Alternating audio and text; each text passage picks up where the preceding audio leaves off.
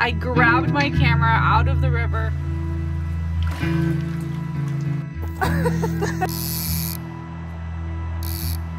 Ah, that's a good one too.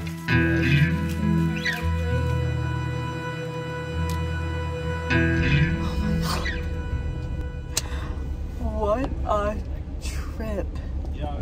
Good morning everybody. Am about to go on the first backcountry fishing trip of the year and I am so excited.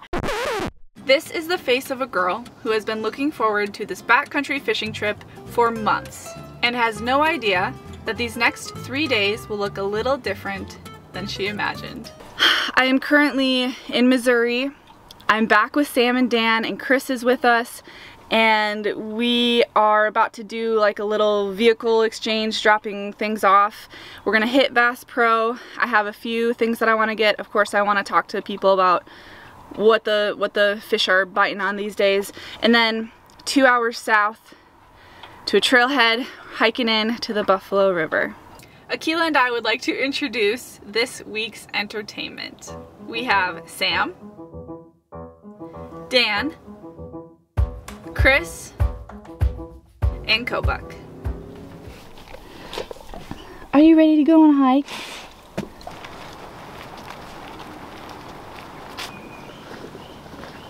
We got a little bit later of a start than we had wanted. I needed to set up my new backcountry reel and get some more flies because right now I'm kind of set up for everything that I was doing last year. But this is really my first time being in the Midwest with a fly rod. So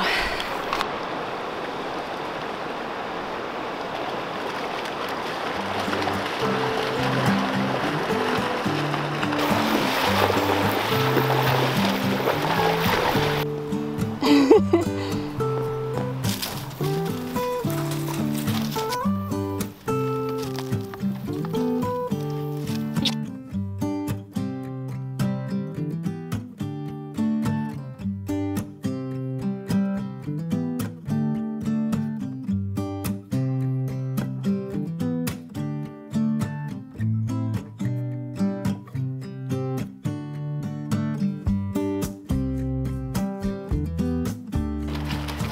just gonna say do something sexy. Or like, do something not sexy for a second. Everything I do is sexy.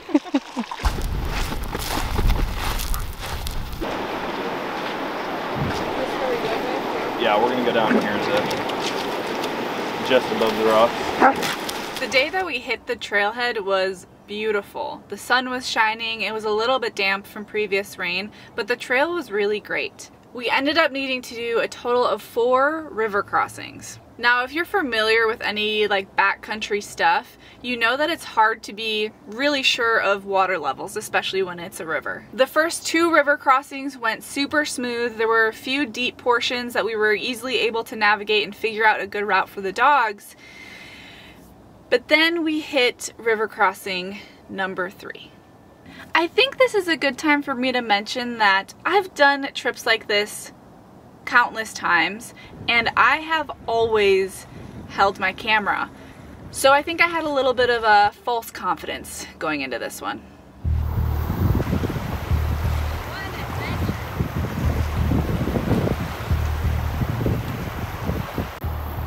Well, Linnea just slipped and fell with her camera in the water. And Dan went to go help people know where to where to get downriver. So a little eventful eventful moment. Well, we were trying to cross this river and a little bit farther downstream Sam and Dan crossed, but it was too deep for the dogs, so they got kind of swept down. So Chris and I thought it would be a good idea to come upstream, but it's super slick. There's a lot of bedrock, and I just walked right in. my feet kind of slipped out from under me, and then in I went, and my entire camera um, went under as well. And we don't know, we don't know what the verdict is yet. Drying it out still. Here's my wet dead cat.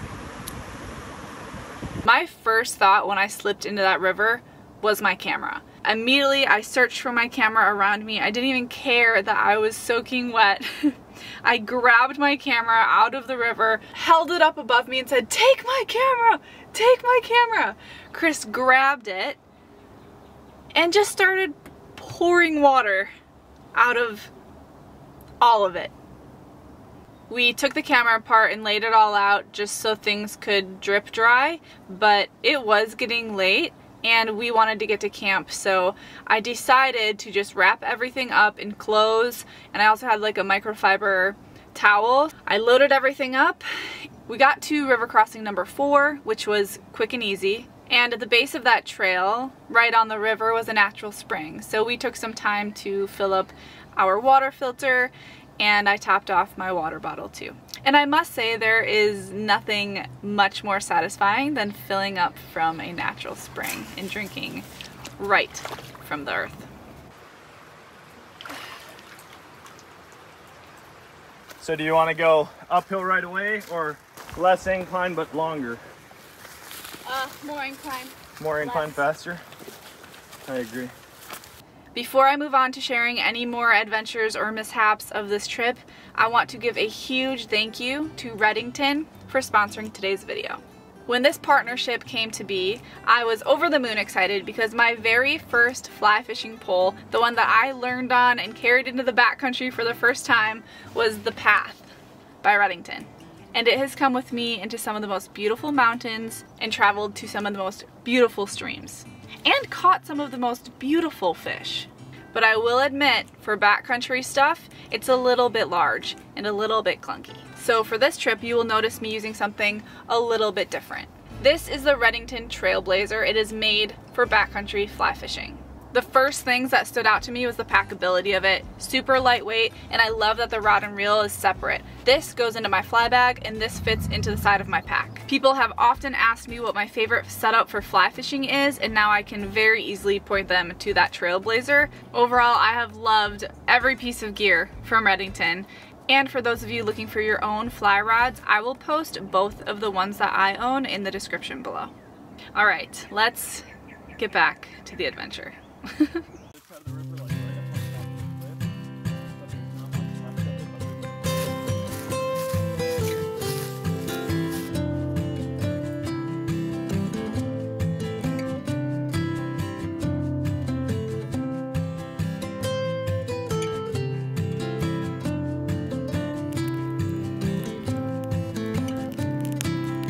We all got to camp and set up our sleeping areas and then had a luxurious meal of steak, potatoes, and onions. Once it got dark and my camera had been drying for a few hours, I decided to turn it on and see if it worked. Good sign you got a red light. It's working. Oh, it's on. Should we see the record? I mean, if it's on, it's oh! gonna Oh! wow! That's amazing. Holy shit! Maybe you didn't really. I mean, you got it wet. She poured water out of every part of it. Tequila. I'm shaking. That is the magic of the Buffalo River right there. That's amazing. Oh no! Oh no! Oh no! because you, you put that over. Okay! Wow! That's amazing. Oh gosh, it's a roller coaster. That's awesome. Lucky girl. Wow! That's awesome. As you can tell, we were all really shocked that it worked at all. And then it started to not work. I did Go, not go, think get that that was gonna work. It is kind of shutting off Go, though. go, go, go, go.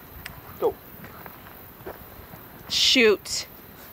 Shoot. Do you see that? Yeah, I mean, maybe. Maybe turn off and let it keep drying out. Yeah, I would I would kill it, let it keep drying out the all the way, just so that if there is any Okay. water in it, it doesn't like Oh, and now it's not stopping recording. The screen on the camera started to flicker and go in and out. The buttons stopped responding and there was very clearly water in the lens. My surprise and excitement very quickly puttered out into disappointment and regret for trying to carry my beautiful big camera across the river. So I decided right then and there that I was just going to put this behind me. I was gonna let my camera dry out for the rest of the trip, not take any footage. So I went to bed that night looking forward to the next two days of fly fishing on this beautiful crystal clear river with my friends. And then we all woke up in the middle of the night to heavy rain and lots of thunder which is a beautiful experience when you're sleeping in the backcountry, but a little less beautiful when you're planning on fly fishing the next day.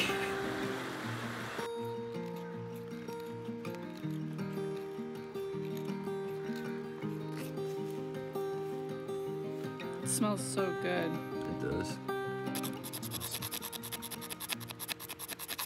Once we got our morning fire going and ate breakfast, we put together our poles, organized all of our flies, threw on our waders, and headed down to the river for a day of fishing in the water that was much less blue and much more muddy and washed out.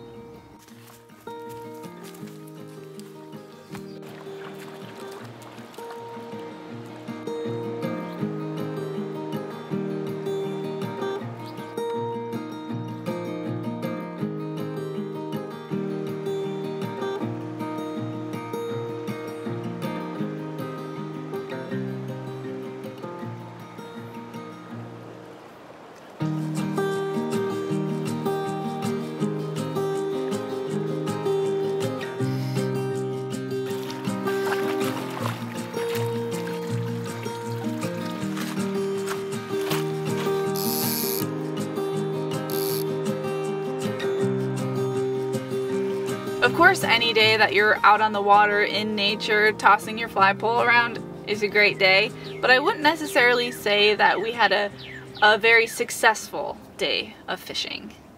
Hey, I mean, you caught one, so the bet again? Everybody buys dinner. Chris won. Should I get a picture with it?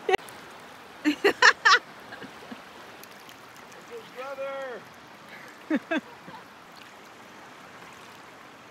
But the day did end with a really cool surprise. Ah, that's a good one too. Yeah. I was old, I was young, I was sitting in the sun. I was tired I think this one is. of the what do you run. think, Sam? I was done. Life was great, life was hard. In a way, an awful card you can't win. The losing hand.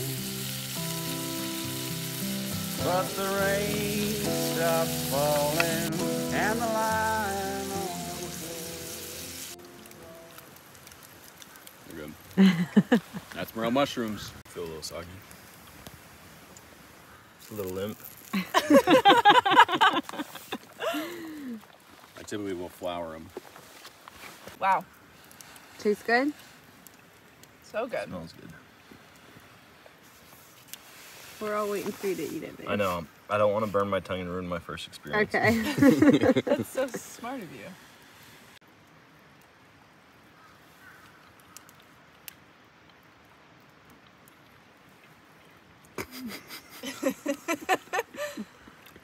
I mean, he finished it off. Wow. Is that good? That is so good. Now I want to go find more. Here, try like the actual flesh part. That's what. I mean, imagine a little bit of flour on there too. We spent the rest of that evening and the next morning spending time fly fishing on the river, hanging out by the campfire, telling stories, laughing, cooking food, all of the normal fun backcountry things. Then the afternoon of that third day, we decided to head out. We knew that the river was much higher than what it had been coming in, so we needed to take a few detours and the river crossings themselves took much longer. Keela, come on. Come on. Good girl, Keela. This way. Come on.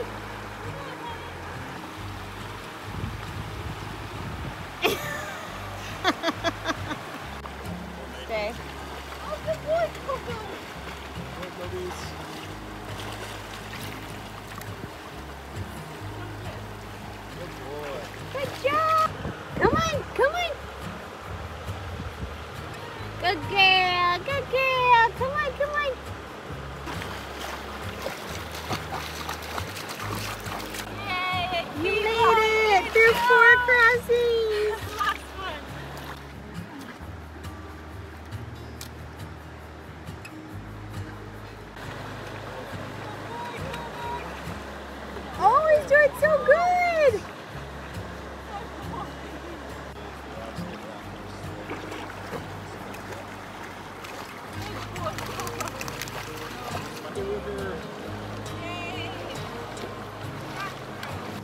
getting us through, Dan. Akela, you made it.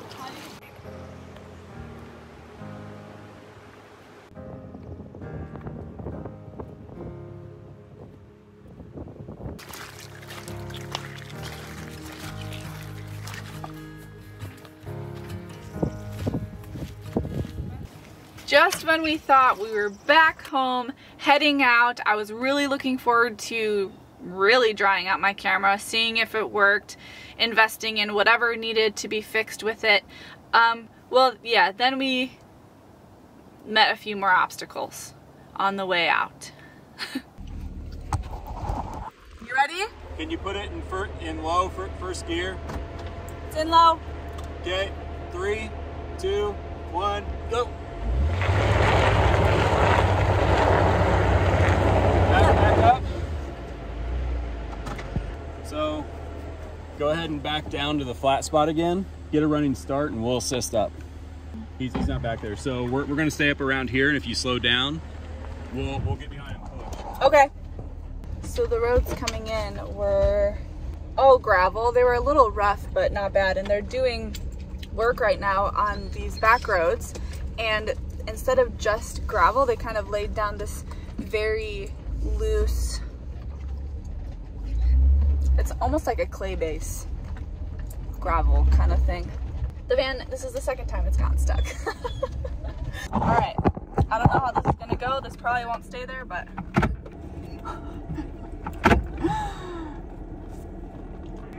Are you ready? All right, Akela.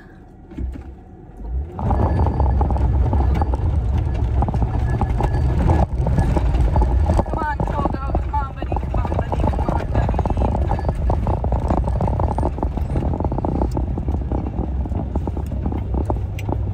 All right, the boys are in back. The boys are pushing. We got past the worst part.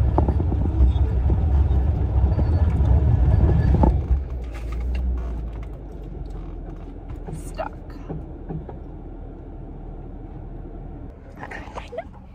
Like it might be. Uh, Are you guys getting a workout in? oh yeah, always. That's why I don't have a gym membership. I just turned tra- essentially traction control off. Ready? I'm ready. One, two, three, go. Um, it's in a little bit of a rut. Do you want to try it? You know your van better than I do. Okay, bye everybody. So we found a chain and there's a tractor and everything and we just don't know if there's an actual good tow spot on my van. There's nothing to attach. Yeah, there's because I don't want them attaching to a weak spot and just pulling something out. Yeah. Oh my god. What a trip. Yeah, I was We've got a line of people waiting for me. How are you doing, Kobuk? We got Akela back there just chilling.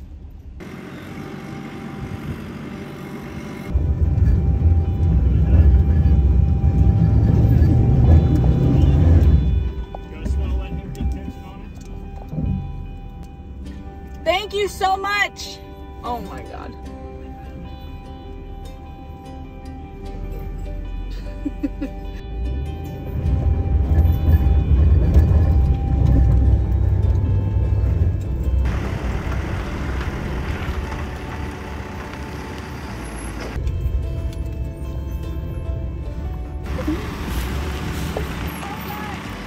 After way too much time being stuck on that hill and a lot of people helping and a lot of people waiting behind me, I finally got out. We made it. Crossing my fingers that nothing else happens this trip. We're almost to pavement. I feel like once we hit pavement, I will be happy. I am so grateful that there was that tractor there. Somebody else had chains. Of course, Dan and Chris were pushing on the van. Oh my gosh. A lot of this was because of all the rain that we had yesterday. What an adventure. I know.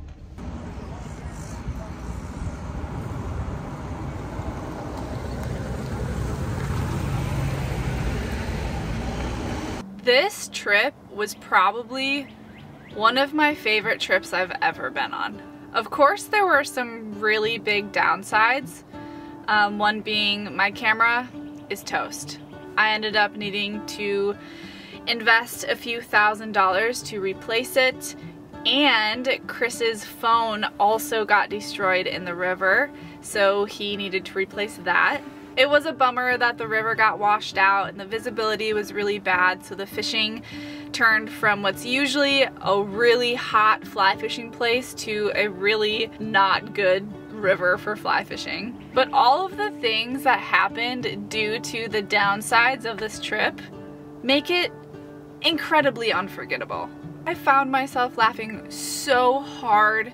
We told the best stories. It's really times like this that make those moments in the backcountry so wonderful. And what really makes trips like this stand out, not only is it the, the beauty of the place that you're in or the things you get to experience, but it's the people that you're with. And I guarantee you that there will be many more trips to come with this same crew. And make sure to stay tuned because there will be more successful fishing trips in the future. But for now, Akela and I are settling into Wisconsin because we are here to help my brother Noah complete his tiny home build of a 7 by 14 trailer. So we will see you next week for part one of the trailer build. When we wake, hear the birds and see the sun. Side by side, our fears are done. All the good times just begun.